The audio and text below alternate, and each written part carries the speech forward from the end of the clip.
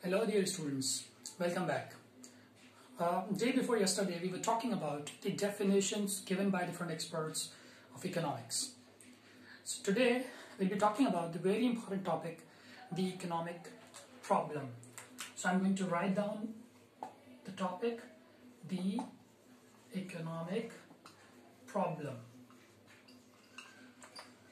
Now before going in detail regarding this question, I want to ask you a question, a couple of the questions. Do you know what does it mean by need? Or what does it mean by want? So first look at this need. If I ask you the question what does it mean by need, you'll give me the answer probably. Need is something which is essential for living, without which we cannot survive, right? If I ask you what does it mean by want, you might give me the answer desire right? Wants are, are our desires. My second question would be, if I ask you to list down your need, so what is in your needs list? You might give me the answer like food, which is essential for the living, number one. Number two, clothes. Number three, shelter, etc. This is the needs list of any common common person, common individual. So if I ask you what is in your wants list, you can give me the answer like uh, luxurious life, you can give me the answer like a wonderful car, right?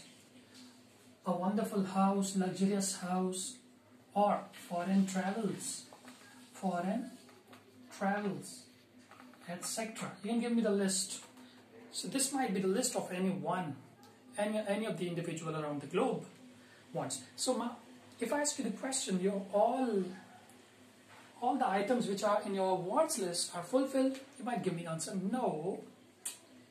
If yes, then you might be very rich. I guess it's quite impossible to, you know, fulfill all these wants or desires. If you fulfill one, then the other want reappears. This is the uh, quality we want. So what is the problem? The problem is every individual has unlimited wants, right? We have unlimited wants. Then, in order to satisfy these wants, we do not have enough resources. So, we have limited resources here this problem occurs. When your your resources are limited these limited resources are economic problem. Right?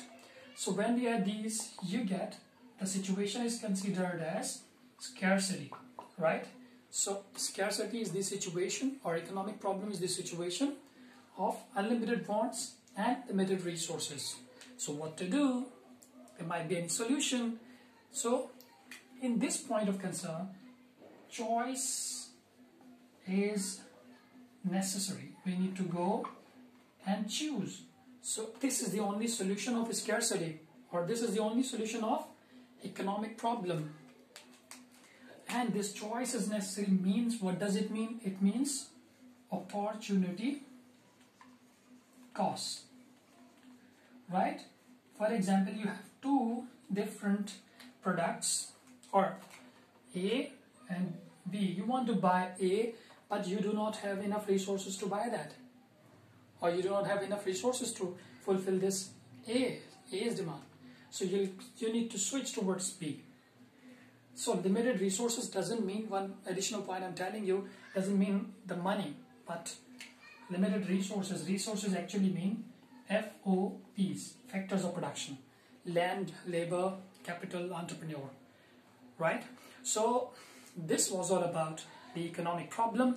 Uh, we'll be talk talking about the next topic or the new topic in the next video. I hope you understand this concept. Till next time, thank you very much.